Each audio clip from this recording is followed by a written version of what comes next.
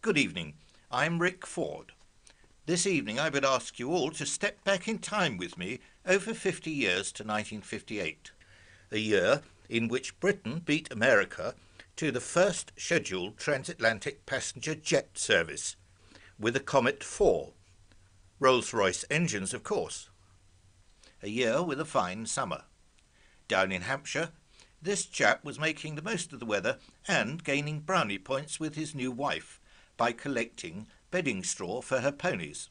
For this task he was using a wartime Willys Jeep, so you may guess he enjoyed older vehicles, and you would be correct. For this rural spot was the Jack-o'-lantern, on the main road from London to Bournemouth, the A31. The cheery chap none other than Fairfax Guy Wade Palmer. A pilot in the Royal Air Force during World War II, he continued flying after the war and by 1950 was chief flying instructor for the Wiltshire School of Flying at Thruxton. His hobby was indeed old cars, and these, scattered in various Nissen huts around the airfield, included a Silver Ghost with Cunard body. For servicing and spares, he went south of Salisbury to one Daniel Richmond at Downton. Daniel, a wild character, specialised in older and competition models and had a penchant for Rolls-Royce products, amassing spares, tools and instruction books aplenty. At this time, the BMC A-series engine was announced and at 803 cc's produced only 28 brake horsepower at 4,500 rpm. It was fitted to the A30 and Morris Minor. Daniel, curious as ever, experimented, and the Hampshire-Wiltshire borders were suddenly filled with little family saloons, progressing at quite indecent speeds. Daniel's wife Bunty, a formidable lady, but with very sharp business brain, smelt money, and badgered her husband to forego the time-consuming old cars and concentrate on this new source of cash. Along came that brainchild of Alec Issigonis, the Mini, which became an icon of the swinging 60s. Customers aplenty, many wanting more performance. Daniel could supply it. He was summoned by Issigonis to Longbridge, and in turn Alec visited Downton, where Daniel introduced him to leisurely liquid lunches at the Bull, and afterwards fly fishing on the Hampshire Avon. Alec was entranced, and for Daniel, a lucrative consultancy at BMC followed. So Bunty had been correct, and even her mood lightened. Daniel asked Wade Palmer if he would be interested in taking over the Rolls-Royce spares, tools and literature. Out of these disparate events was born the Jack-o'-lantern. To learn more, let us accompany a casual visitor to the 11 acres on the edge of the New Forest.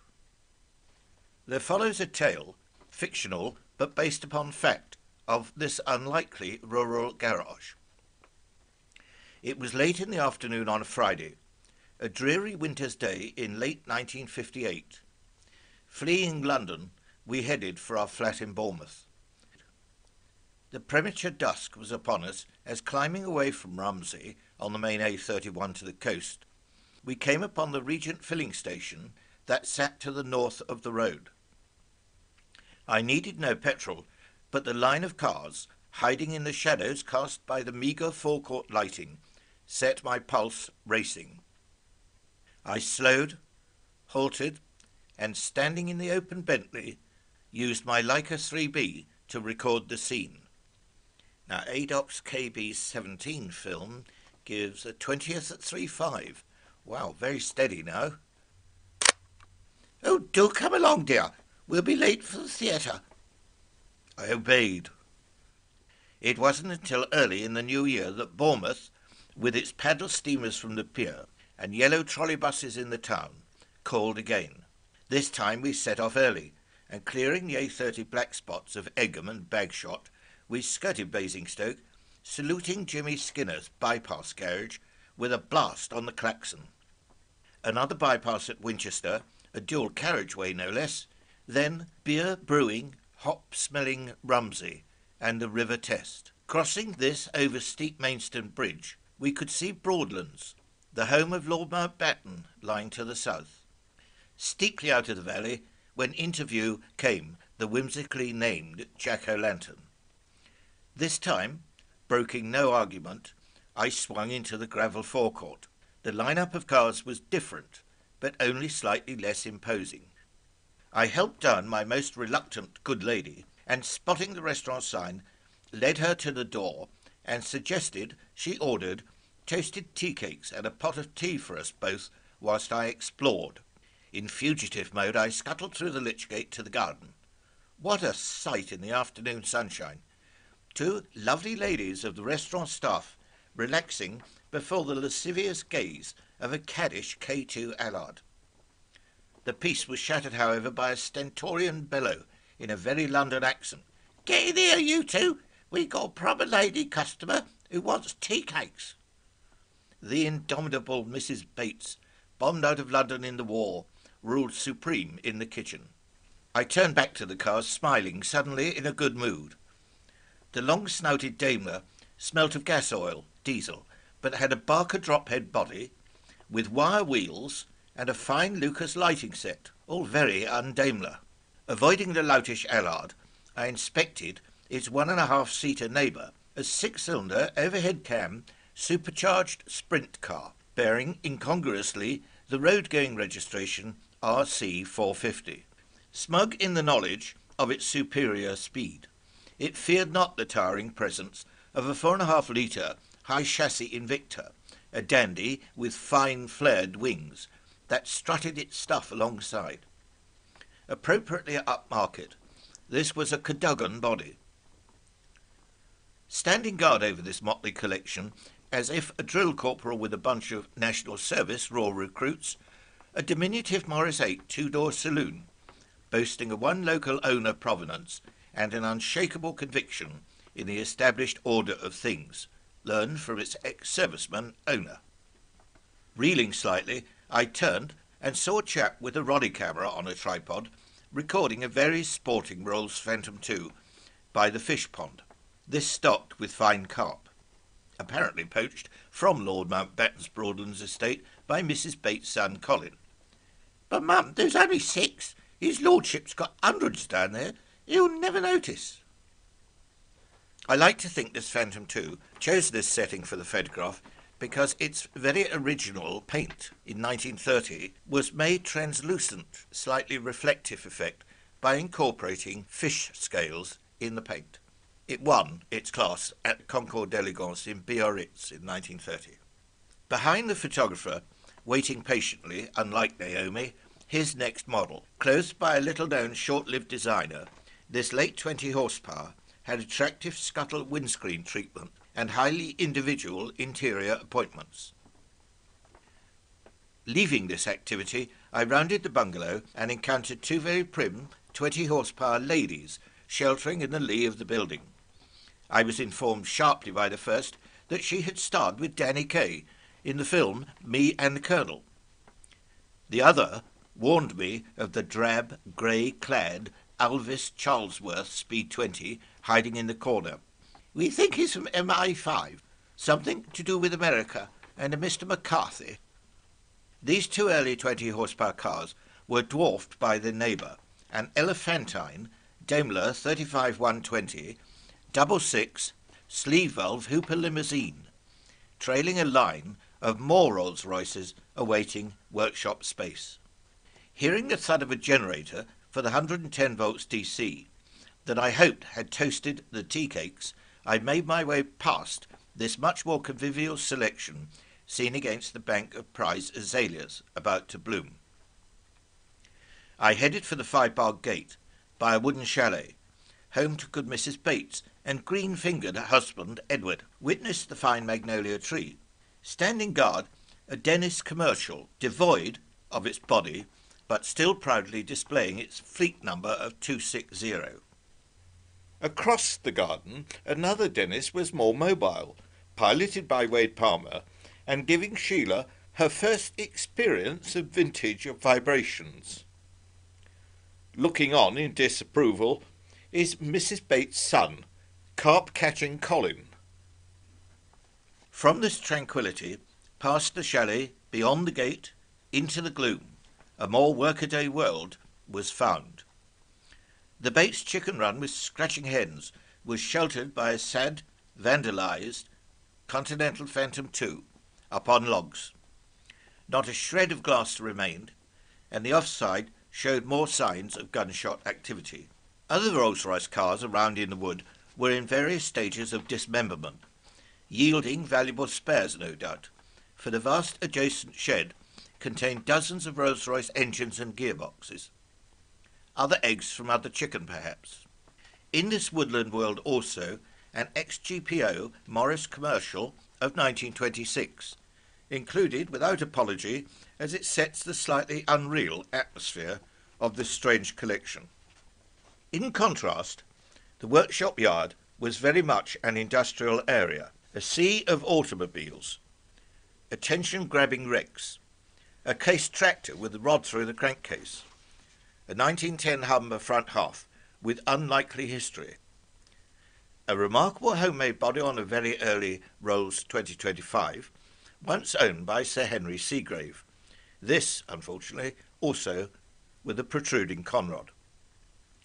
A very early Rolls-Royce 20 horsepower with Undertaker's van body. This anonymous dark blue and black, silent running nocturnal nonentity had collected the recently departed from their final homes, bound for the chapel of rest, but only after dark, so as not to disturb the sensibilities of the residents in the cathedral calm of Winchester. Turning, I was confronted by a lofty Phantom One on axle stands in the middle of the yard. Making my way over to it, I realized a stepladder would have been appropriate. The drop-head body had been increased in height with extensions in the bronze windscreen pillars. In so doing, the park ward body became a fixed head, very striking all the same. The main workshop was closed, perhaps to deter visitors such as I, for much activity could be heard from within. Outside, a beautifully rebuilt blower 4.5 WO Bentley chassis sat with its Vanden long wing body nearby. A reunion seemed imminent, given its priority position by the doors. But for the viewer, a sneak preview. Spotting the doors of the smaller workshop were ajar, I looked in. A Frazer Nash BMW 328 with much crumpled front end. Near treadless tyres, perhaps a contributory cause. The thumping of the generator reminded me of now cold tea and equally frosty reception no doubt awaiting me. I turned to head up the gravel forecourt, but a row of sad, forlorn ghosts, like elderly patients in a surgery waiting room, awaiting their turn with the doctor, were lining the roadside hedge. A startling sight. I wanted to look closer, but tore myself away and hurried towards the main building, growing even more aware of my likely reception. In a moment of inspiration, I paused at the Bentley and erected the hood. I entered the restaurant. Nemesis was sitting, ramrod straight, in a fireside chair, and snorted, Ah, at last! Hurry up! I've eaten your tea cake, your tea is cold, and I want the hood up. The door banged behind her. That's all right, sir. I could get you a fresh pot, said the waitress I'd seen earlier. Thanking her, I declined and paid the bill. I swear she winked at me as I said, keep the change. Leaving this remarkable place, I swung the Speed 6 towards the New Forest and Bournemouth. I concentrated, throttled back, for here the cattle, ponies, donkeys and pigs roamed free, roads unfenced. Even Lyndhurst High Street had animals gathered in mutual fly-swatting groups. London seemed a world apart. Back at the Jack-o'-lantern, Wade Palmer and his family enjoyed the facilities.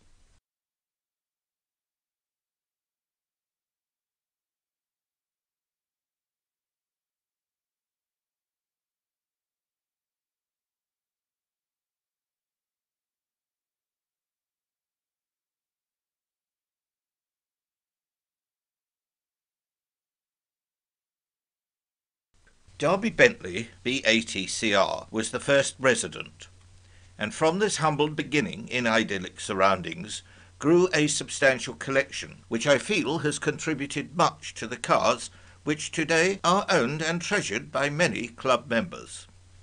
You recall the sad Continental Phantom 2, 22 PY, by Mrs. Bates Chicken Run. Now it is fully restored and proudly displayed in European shows. At one such in Paris, but way back in 1924, Windovers displayed a striking cabriolet silver ghost in flame orange with polished aluminium bonnet and wheel discs. The motor reported this very striking car as a tribute to British coach building and to Windovers in particular. By 1959, it was naught but a vast tarpaulin-covered shape in a tiny back garden of an end of terrace house in Ponders End. Spotted by Jeremy Bacon from a passing train, he told us we managed to purchase it. Richard Hoppet, the owner, had been chauffeur for Lady Mary Cartwright. Upon the outbreak of World War II, 7AU was gifted to Dick, complete with a hackney carriage plate for Dick was an invalid and unfit for further service in HM forces. Now, Dick, recognising that tempus fugit, decided to bid farewell to his old friend. After a long day, a chum and I had managed to extricate it. First, the fence.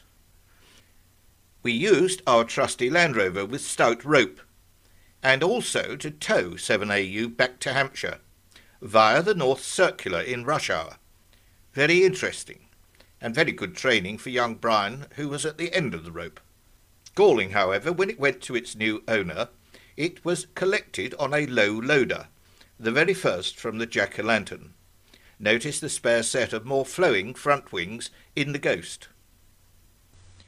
Now well restored, it features on the cover of The History of Windovers by Jane Windover, sporting those replacement wings. Non-original may be, but period and quite splendid. The first ghost at the Jack came from the Bertram Cowan garage in Streatham as a garage breakdown truck. Wade and I went up with cash and bought both 89 RM and its crane. Unusual, for in those days a good hoist was equal in value to a silver ghost. Driving this back to Hampshire, it became evident the chassis was a very good taut example. And we now learn from Steve Hubbard it had been returned to the factory in 1936 to have a full overhaul and Andre telecontrol shock absorbers fitted. It did not have, however, the front wheel brake upgrade, so remained braked on the rear only. Sir Harry, newly knighted, obviously went on the spend. In addition to 89RM, as a formal town carriage, he had Hooper build a rakish two-seat tourer on GH58, an early 20 horsepower. Also, non-front wheel brakes. Perhaps he mistrusted them. At this time, in this he was not alone. 89RM remained with us for all our days at the Main Road Garage, performing sterling service. Here Wade Palmer poses with the latest captive. When the A31 became a dual carriageway, the business moved down into Romsey to a redundant jam factory. Threepence on returned jars. Here was space for the cars, but storing a period bus body was more tricky. This had operated in the New Forest, between Lyndhurst and the railway station, on a Ford commercial chassis. 89RM's use as a breakdown was no longer. Hmm, yes, we did. Here, in the early stages, at the jam factory, with Hampshire registration CR6662 and complete with Hackney carriage plate for 14 passengers. Room for all 14. Amazingly, the only modification was the swapping of the front side panels side for side to accommodate the Silver Ghost side levers. A view from the bridge. The new bulkhead was made by a local chippy using an African hardwood. Upon completion, I gave this bus a run out to go to the 1964 meeting at Goodwood. I don't know if any of you remember seeing it there. But it eventually went to Bunty Scott Moncrieff, and it was at this stage that it started to gain its fanciful histories. Typical was that after being pensioned off from a career on a vast sporting estate in Wilders, Scotland, it was used as the local hotel's bus, ferrying guests from the railway station. Bunty obviously thought this more romantic than Lyndhurst and the New Forest. Another noteworthy restoration, this by Colin Laborde, a club member, was 74A6. The early 20 horsepower commercial cadaver conveyance you saw earlier. A most original chassis, notice correctly black painted lamps and shutters and the beveled edge radiator.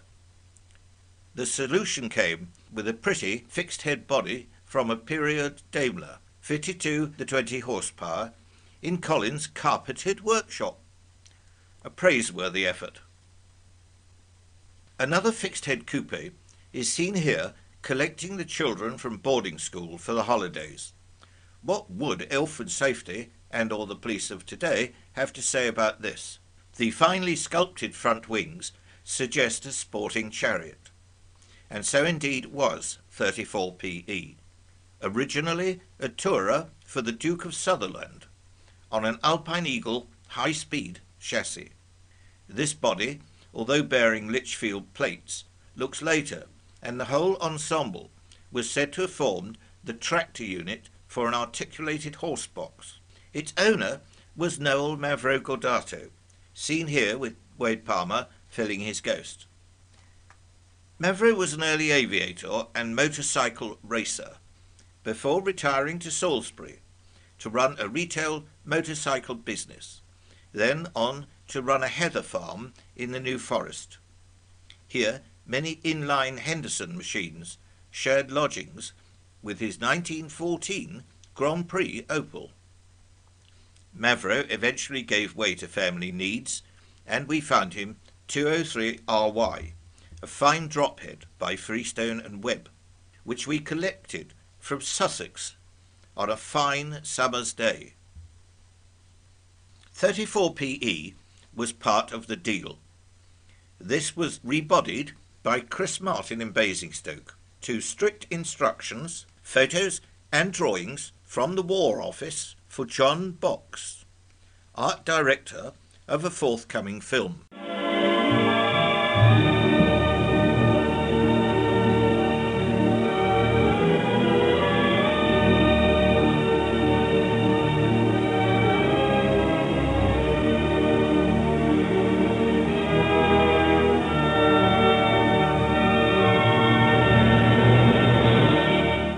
So 34PE found itself in many exotic locations, with splendid crowds to welcome it, even, on one occasion, a guard of honour. General salute!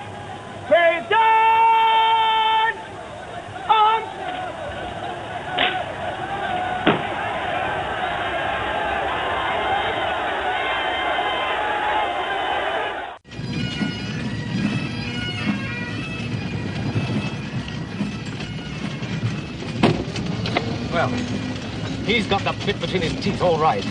Cocky. In the film industry, all is carefully arranged, but behind the camera, it is a different world. In the foreground, Anthony Quayle and Howard Marion Crawford with Freddie Young, the ace director of photography.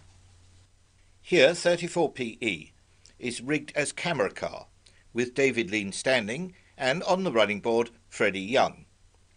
Behind is the very sophisticated mobile camera lorry with dedicated crew, flown over from Texas. However, David Lean, a Rolls-Royce owner, had faith in 34PE and myself. Adjusting ignition, mixture, and using the governor carefully, I provided a sufficiently steady camera platform for this final shot of the film to be in the can.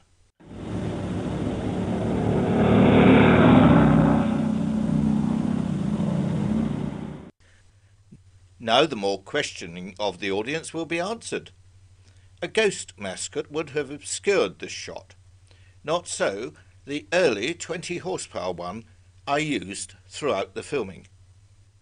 The motorcycle was one of five I took out, two each Douglas and Triumph solo machines.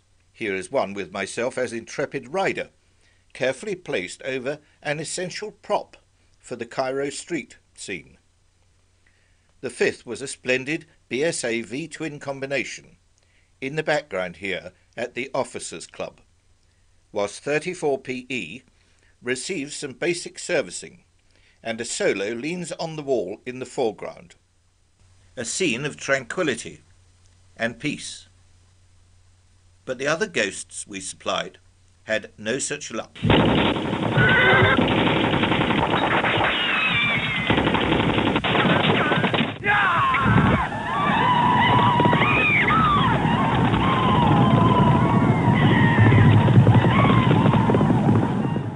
See why we elected to use front wheel brake chassis.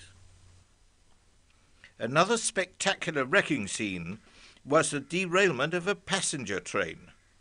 Here, the locomotive travelling at speed was toppled sideways off an embankment onto a carefully designed concrete bed hidden beneath the sand. The locomotive skidded forward on its side dragging the first coaches after it, leading to the spectacular looting scenes.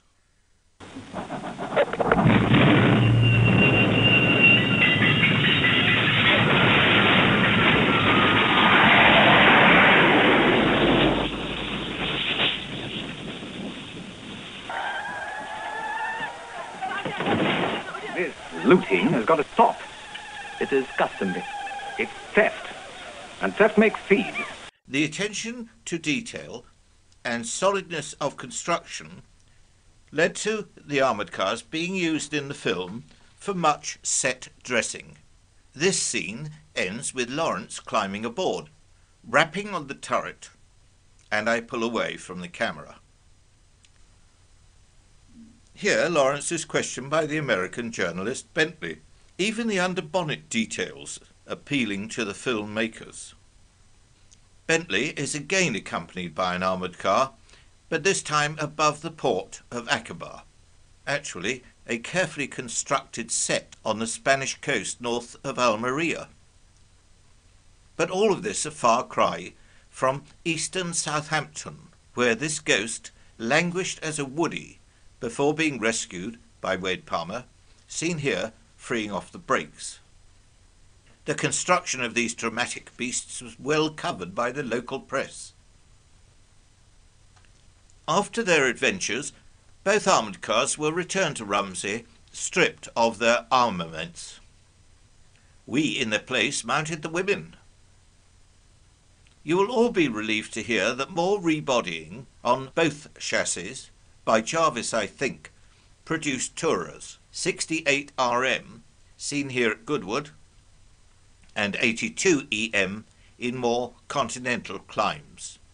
After all their travels, these two ended up in 2009 less than 40 miles apart in Scotland. Meanwhile, 34 PE returned, and I collected this from London docks, drove it to Romsey, and into the hands of a grocer from Glastonbury, a Mr. Hibbard, who derived much enjoyment from showing it in its full desert livery at local shows and events. Here, the showing of the film Lawrence of Arabia at Glastonbury. 34PE is now in the hands of his nephew, Roger Kettle, who is an equally appreciative owner. A change of scene. A drab North Country town, a Toc-H hostel, with mythical lantern high on the wall, and before it, an ex-breakdown truck. This is 18NE, to become the second Lawrence of Arabia tourer, with similar body by Chris Martin. Here Wade Palmer Jr. is in charge. The differences were minor, mainly windscreen and dashboard, but this chassis never left these shores and was held in reserve for 34 PE, At the conclusion of filming, the new owner of 18NE therefore had a rebuilt Silver Ghost with new engine, rebuilt beaded edge wheels, and a new body. But he didn't like the body. Wade Palmer found a Sunbeam Tourer by Maythorn of the period, and the two were combined to produce this. We provided cars for other films, the first of which was the Greengage Summer in 1960. Here B3HM has Kenneth More and Susannah York aboard, with the flame hair of backseat Jane Asher, against the Champagne Pommery headquarters in Reims. More glamour with the elegant forms of 74MY and its chauffeurs, here at the Jack-o'-lantern directly after returning from Turkey. I took it almost immediately to Paris for the remake of The Four Horsemen of the Apocalypse, directed by Vincente Minnelli. Our hotel was just off the Etoile, so each day I negotiated central Parisian traffic. But this magnificent beast on Istanbul plates, corps diplomatique to the rear, and siren wailing, parted the traffic in true biblical fashion all very unseemly, but in mitigation I was only 23 at the time. Let the following tale be a warning to club members attracted by lucrative offers and thinking of letting their treasured car into the film world. On the film set, 10 miles out of town, many indignities were heaped upon 74MY. The fixed Sedanca top posed lighting and camera angle problems, so a wooden platform was needed to carry lights, tripod, camera and crew. I insisted on wooden blocks between axles and chassis and personally fitted them. Alas, this first attempt using scaffolding poles was too springy, so a more substantial, very heavy wooden structure was made. However, the filming was getting so far behind schedule, with costs escalating, that the whole unit was shipped out to California including 74MY. Wade Palmer negotiating the sale to MGM from a very strong position. You'll be pleased to know 74MY is now back in the United Kingdom. But enough of movie land. Consider now early coachwork modifications of a more minor nature. Here, at Station Garage Taplow in leafy Buckinghamshire, 98PY. Another Phantom 2, tatty in faded dull red. The body was by Barker. Considered too sad to grace Commander Keller's showroom of Paddon Brothers in Knightsbridge, it was sent, as was the habit, to Peter Farmelow at Station Garage. We bought it, and upon driving it back to Romsey, I was struck by the aluminium dash and plated windscreens around, while the horn ring was a commercially available item, very occasionally fitted by coach builders to customer order. Upon arrival in Romsey, I noticed the frameless side windows front and rear, and slightly over large rear window. It was offered for sale, but no interest was shown, so it was taken on by our senior fitter, Martin Ashby, ex Thornycroft. He repainted it in a striking claret and black, and used it daily, a habit he retains to this day, maintaining a stable of fine cars, all driven regularly. It wasn't until 98PY came into the hands of Swiss club member Matty Schumacher that the coachwork was returned to its original full drophead splendour. Stepping back to an earlier Phantom 2, 29GY sported a Hooper four-light body with a splendid roofline setting off the whole. Again, frameless door glass, but this time front doors only and this prompted a subsequent owner to revert to original Sedanca style. One resident that I do hope has been restored is the Phantom 1 fixed head coupe you saw on axle stands in the workshop yard. This, a most imposing vehicle on the road, we collected from a farm at Abbots Barton Heading for Romsey, but still well within the 30 limit of Winchester, Wade Palmer intimidates a humble Ford Popular, seemingly unaware of the police constable cycling ahead. This burst of power from a long stored farm find produced a remarkable cloud of dust, rust, straw, and more in its wake. Forsaking the spirit of ecstasy for the winged bee, here is the standard Park Ward three and a half, but somehow much more glamorous. The car, which seemed to have spent much of its life on the continent, gained a smarter appearance by virtue of new, very shapely wings. Bearing Vanvooren nameplates, it has a late Bedfordshire registration LRO 331. Anyone who can identify this car by chassis number, please contact me. Backwards again to another Hooper, 1924 Silver Ghost 36EM, a full cabriolet for the 12th Earl of Derby. Bought from a brusque Yorkshire market trader, the car, complete but tatty, is seen here upon arrival. Sold to an American working in Crawley, Sussex, who had it restored well, albeit in two-tone grey. A later club member, owner, lowered the radiator and modified the scuttle accordingly. The brusque Bradford trader, once the deal was done, mentioned he knew of another ghost abandoned in a derelict mill yard.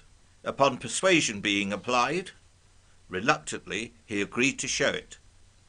Yes, a pre-World War I chassis only, displaying its rear three-quarter elliptic springing and with a gearbox showing chassis number 1341. A sum was agreed, but the deal fell through. Whether this was indeed 1341, I know not, as it was not uncommon for the factory to use a neighbouring item during construction or later servicing. One such case was 19 PD on the gearbox, with the undertrays marked 15 BD. Abandoned and vandalised, lying in nettles and brambles in Ferring Recreation Ground near Worthing. We were alerted by Michael Wilcox of Swandene Spitfire fame. Michael said its air pump was on the gearbox. So we went over mob-handed and dismantled it into component parts, loaded these into a lorry and returned to Romsey. It went to the late Tom Brahmer of Sweden, later Switzerland, and I think confused John Fasal, for the Edwardian gives both chassis in Switzerland. So little signs indicate pre-World War I chassis.